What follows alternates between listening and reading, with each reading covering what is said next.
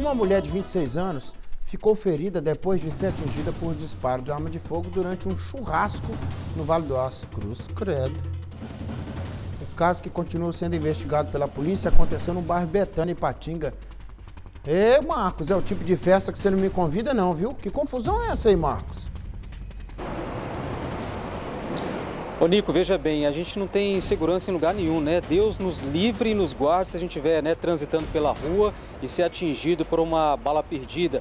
E até mesmo, né, a gente dentro de casa, né, e pode acontecer isso, essa bala perdida. Você lembra daquele caso da criança de 5 anos que estava dentro, de, é, dentro da residência dela com a avó e que, né, durante um disparo de arma de fogo, ela foi atingida em uma das pernas. Pois bem, esse caso de ontem, essa mulher de 26 anos, ela foi para um churrasco, né, com familiares, né, amigos no bairro Iguaçu. E antes de entrar na residência onde acontecia a festa, ela ouviu estampidos e depois ela começa a sentir uma dor na panturrilha esquerda. E quando ela olha, ela foi atingida por disparos de arma de fogo. Essa mulher, é, segundo a Polícia Militar, não soube precisar quem é o autor dos disparos e nem de onde esses disparos né, vieram. Ela só apenas estava ali do lado de fora e foi atingida por essa bala perdida. Ela foi levada para o hospital Márcio Cunha, onde lá passou por, por cirurgia para retirada da bala que ficou alojada na panturrilha esquerda dela. Agora, militares seguem diligências para descobrir né, a autoria desse crime, quem foi o autor